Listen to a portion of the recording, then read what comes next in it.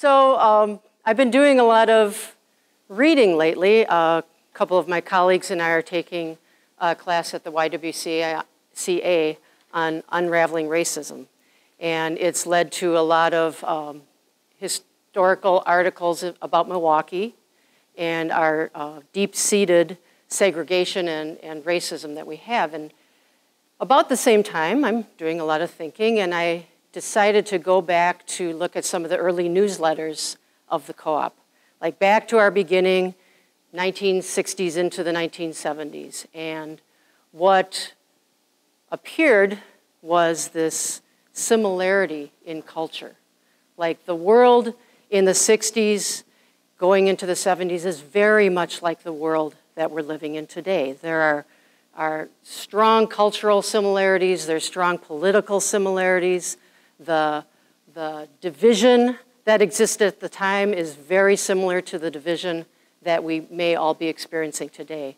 And when Mark posed the question, you know, why bother? Why does this matter? I thought, well, it mattered to us to create the co op. It mattered to us at the very beginning. So, what is it about that time that should continue to matter to us now?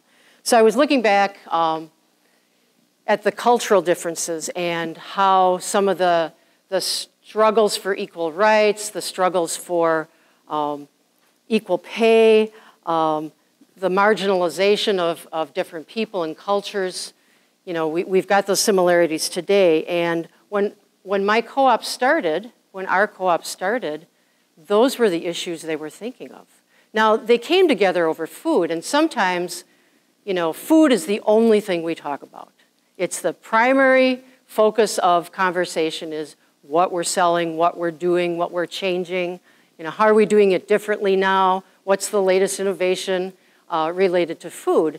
And as some of us discussed at tables today, that can sometimes stand in the way.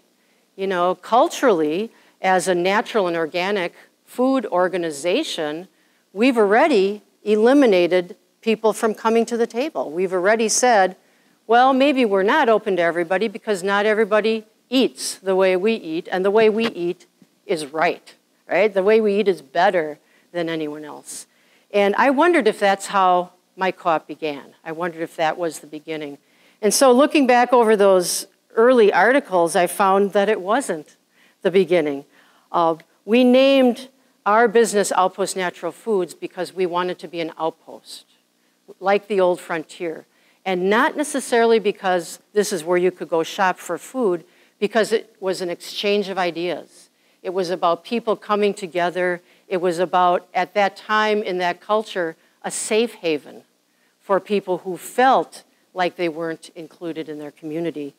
So when I think about what made us unique back at the beginning and what makes us unique right now, there are a lot of similarities. There are great reasons that we should be coming to the table and talking about this.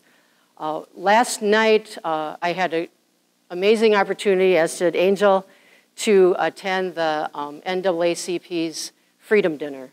And Outpost has been a sponsor of the Freedom Dinner for the past five years. We've had a table there. We've rotated uh, between board members and uh, staff members and managers to have a seat at the table. And of course, last night's dinner is right before a big election. So right before a big election, the topic kind of sways towards the election and the fact that, that people should get out and vote.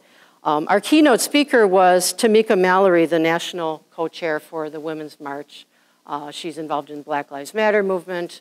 You know, she's, she's been kicked off uh, American Airlines flight for very uh, poor reasons, et cetera. But what a firecracker and what a, an inspiration to hear her talk about some of the things that have, have crossed my mind. And especially going into, I'm sorry, I'm going all over the place, especially going into this time of year when we're getting together with our families.